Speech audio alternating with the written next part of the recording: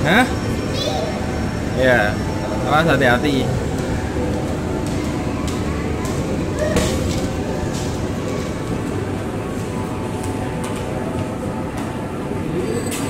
Halo Kak Fikri. Kendalanya masih ada? Uh, berapa aja? Yang masih tersedia yang hijau?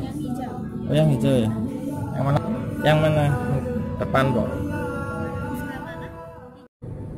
Halo Kak Fikri. Kak Fikri. Kita mau nonton film Gundala dulu ya teman-teman ya. Agak telat nggak apa-apa ya Kak. Oke, nanti sampai jumpa setelah nonton. Udah. Halo teman-teman, jumpa lagi bersama Kakak Fikri Faki.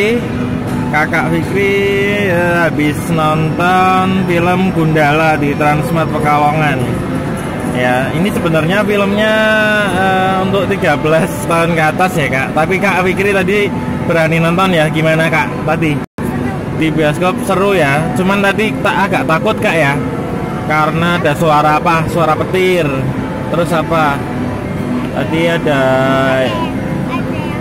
ada yang ngagetin ya. Terus tadi ada yang jahat juga. Yang jahat jangan ditiru kak ya. Iya, ada pedang-pedangnya. Yang jahat jangan ditiru kan.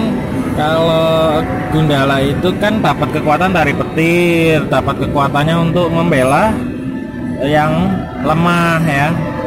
Yang jahat-jahat biar eh, nanti dikalahkan oleh Gundala.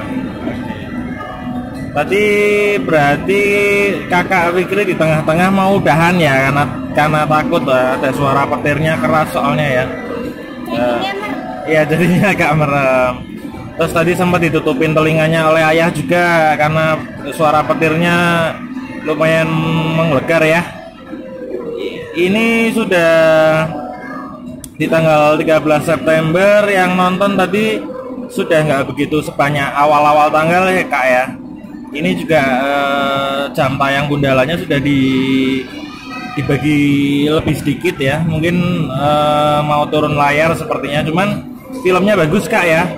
Tadi nanti untuk eh, superhero superhero Bumi Langit nanti kita akan eh, melihat lagi kalau sudah ada film berikutnya ya.